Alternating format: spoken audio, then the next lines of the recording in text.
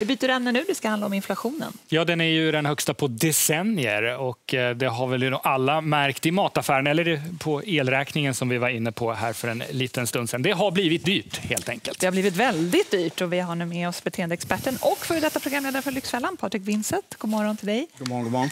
Patrik, eh, ja, vad innebär det för vår privatekonomi att vi nu är mitt i en inflation? Ja, just nu så är vi i en inflation med en siffra på 8 procent vilket är högt. Så här tufft har vi inte haft det sedan egentligen 30 år tillbaks. Eh, vi har även haft en lånefest de eh, senaste 10 åren med den lägsta räntan och den bubblan har ju nu spruckit. Så många svenskar står just nu inför en helt ny och betydligt tuffare ekonomisk situation där man nu uppmanas att eh, överblicka sin privata ekonomi helt enkelt. Mm. Vi har livsmedelpriser som stiger konstant. Vi har en rekordhög siffra på 13,5 procent. Så det är ägg, det är fisk, det är mjölk, det är ost som stiger hela tiden. Så vad vi behöver göra är att titta på inkomster kontra utgifter, räntor, eh, ja, lån helt enkelt och se vad det är vi kan göra för att krama åt för att få lite mer utrymme i plånboken. Det kanske är en chock för många att vi kanske har haft det lite för bra om du förstår vad jag menar. Ja, men jag tror det. Eh, vi, vi har levt liksom i en bubbla och shoppat och haft det gott. Va? Men nu är det ju väldigt hårdare tider så vi måste på något sätt strama åt. Och varenda en krona och öre för många betyder mm. väldigt mycket. Och känslan av att det förmodligen kommer bli ännu värre, den är ganska befogad, eller hur Patrik? Ja, det är lite så. Sen så har ju regeringsförslaget nu kommit med eh, ett elpaket här som, som vi får titta på hur det kommer att se ut. Men just nu behöver vi verkligen kolla vart är det vi kan skära ner? Vad är det för onödiga utgifter som finns och vi kan på något sätt eh, balansera? Mm. Nu är vi i alla fall i inflation. Det är mycket som är dyrt och blir dyrare. Vad ska man inte göra just nu? Ja, det man inte ska göra är ju till exempel om man nu har aktier så eh, sälj inte dina aktier i panik utan fortsätt att tänka långsiktigt.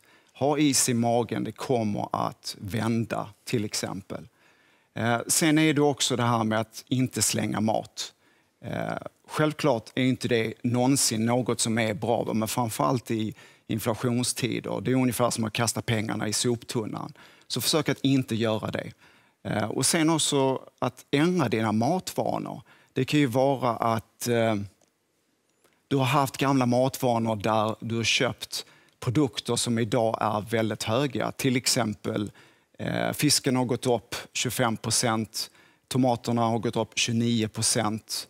Eh, och även avokadon har gått ner 20 procent. Så vi kan även titta nu på produkter som har gått ner, till exempel äpplen, purjolök. Så försök att på något sätt hitta nya beteenden som är mer gynnsamma. Mm, äta mat som är i säsong också. Det brukar vara förmånligt Definitivt. Vad, vad ska man göra mer av då? Vad man ska göra mer av? Ja, man, man kan titta på onödiga utgifter. Till exempel eh, om du har streamingtjänster. Det kan vara massa olika kanaler som man kanske inte knappt ens tittar på. Eh, Skär skära ner på det. Abonnemang, prenumerationer, det kan vara eh, apptjänster eller take away-mat eller restaurangbesök. Försök att krama åt där det är möjligt för, saker, för, för att få lite mer pengar. Eh, vad man kan göra mer, drivmedel till exempel.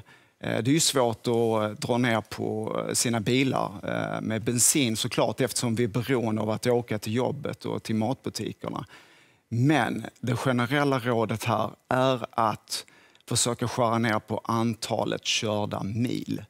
Och det kan man göra genom att planera mathandeln. Det vill säga när du åker till butiken så kanske du ska storhandla istället istället för att handla lite varje dag.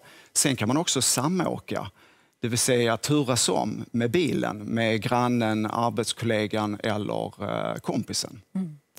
Eh, många av de här utgifterna är ju små utgifter kanske för stunden men som då ackumulerat blir väldigt stora. Har du några bra råd där hur man ska få en bättre överblick på sina utgifter? Ja, alltså det första som jag brukar rekommendera till mina klienter det är att eh, göra ett kontoutdrag på de senaste sex månaderna för att få en överblick. För oftast är det svårt att se skogen på grund av alla träden. Va? Så att zooma ut, få en överblick och titta på vad det är du har handlat de senaste sex månaderna. Och många blir väldigt förvånade över hur många onödiga saker som man har handlat för.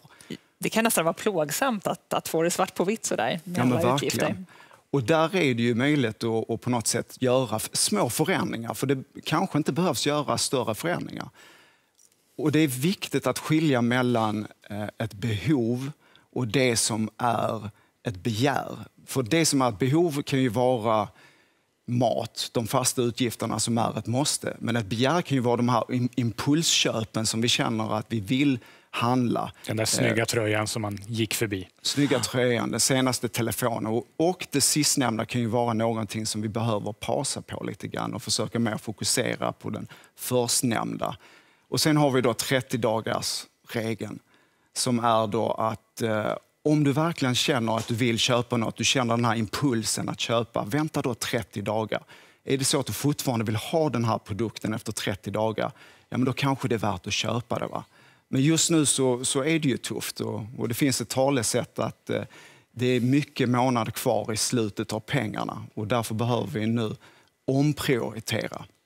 Det låter lite som, eh, för att återknyta där vi började, att man kanske helt enkelt måste börja tänka på ett mm. annat sätt. Det, det, går inte riktigt längre att bara köpa allt man vill ha. Nej, men det gör ju inte det. Jag menar, innan så jobbade jag mycket med eh, shoppingmissbruk och då är det ju de som hamnat i tvångsbeteende. Men idag är det ju helt vanliga människor som, som kommer till mig för att de behöver tips för att klara hela månaden ut. Mm. Kontanter vet jag att du tycker är bra att använda sig med också.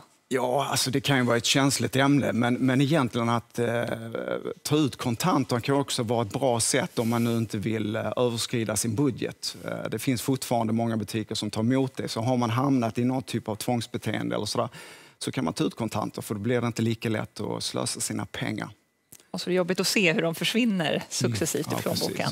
Mm. Tack så mycket Stort för att du kom hit. Tack för alla goda råd och tips, Patrik. Mm. Tack så mycket.